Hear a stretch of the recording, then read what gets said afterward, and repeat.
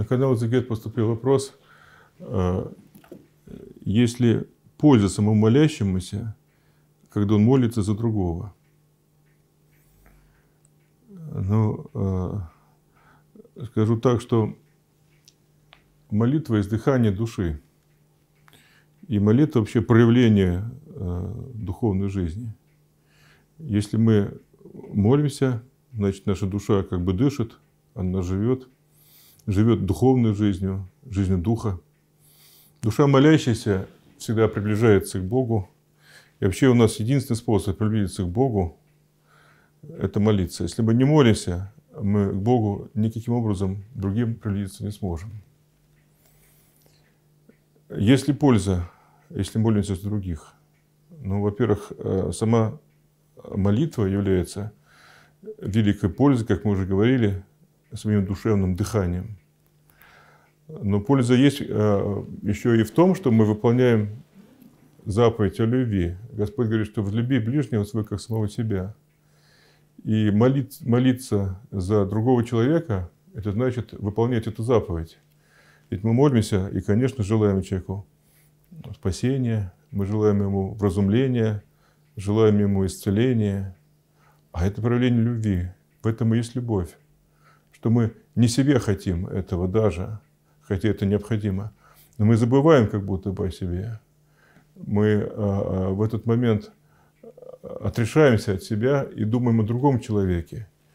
И в этом и есть любовь, чтобы забыть о себе и сделать все, чтобы ближнему был лучше, чтобы он пришел ко Христу, чтобы он получил здравие, а, а это здравие помогло ему потом в духовной жизни, чтобы он а, избавился от того или иного греха, потому что сам он не может, и надо помолиться о нем, надо попросить Бога, чтобы Господь помог ему. Поэтому, конечно, когда мы молимся за другого человека, в этом огромная польза. Но очень важный момент, чтобы молясь, мы не гордились при этом.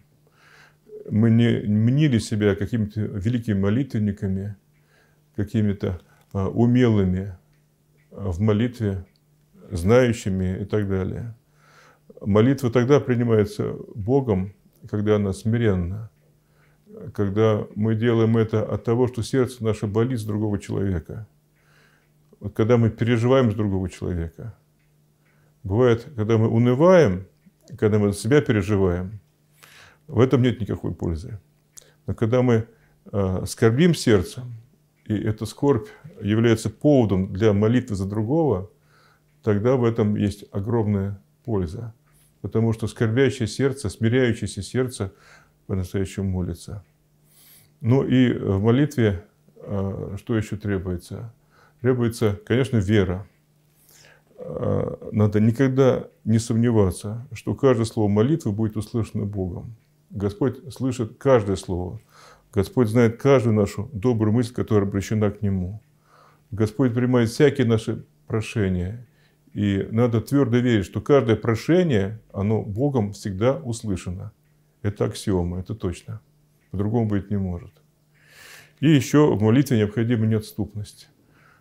Когда мы молимся, и вроде бы не видим а, очевидного и мгновенного результата, но молиться надо продолжать и дальше. И есть такой закон молитвенной неотступности, когда мы а, молимся а, и делаем это постоянно, когда мы молимся и делаем это усердно. То есть нужно молиться с усердием. И вот такая молитва а, с любовью сказанная, с верой и с усердием, с неотступностью всегда Богом принимается. А Господь сказал, просите, и дано будет вам. Ищите и найдете, стучите и отворят вам. Так и будем делать, как Господь нам завещал. Внеси свой вклад, оцени, подпишись и поделись этим видео.